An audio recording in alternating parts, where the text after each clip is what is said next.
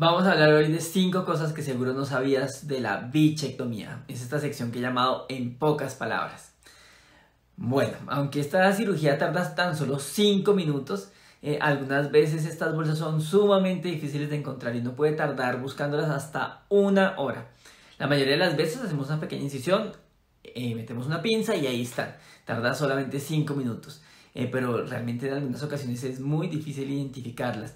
Eh, afortunadamente esa situación no sucede casi nunca y casi siempre aparecen en tan solo 5 minutos.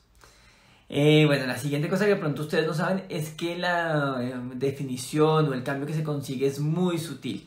realmente no es una cirugía para quitar cachetes, lo que consigue este procedimiento es una definición de la mejilla, un pequeño hundimiento aquí muy sutil que no solamente hace que la cara se vea más definida, sino que hace que el pómulo se resalte.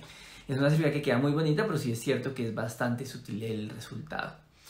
Eh, lo siguiente, que la incisión eh, mide solamente 3 milímetros, es una pequeñísima incisión, solamente la puntica del bisturí se hace en esta zona, pero por dentro de la boca, y por ahí se mete una pinza y se encuentran rápidamente eh, las bolsas. hay que ser muy cuidadoso con no lesionar el conducto por donde sale la saliva.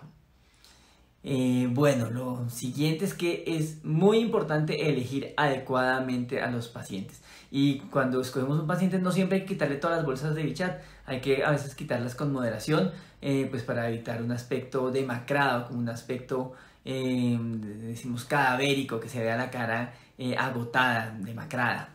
Y por último, pues es verdad que no se debe realizar en personas con caras muy delgadas, por esta misma razón. Cuando se realiza una cara muy delgada, se quitan las bolsas de bichat cuando las personas eh, envejecen, incluso no tan viejos, cuando llegan a los 40 años, la cara se empieza a ver chupada, eh, delgada, demacrada y agotada, o sea, envejecen en vez de eh, rejuvenecer. Por eso, nunca realizar bichectomías en personas de caras muy delgadas.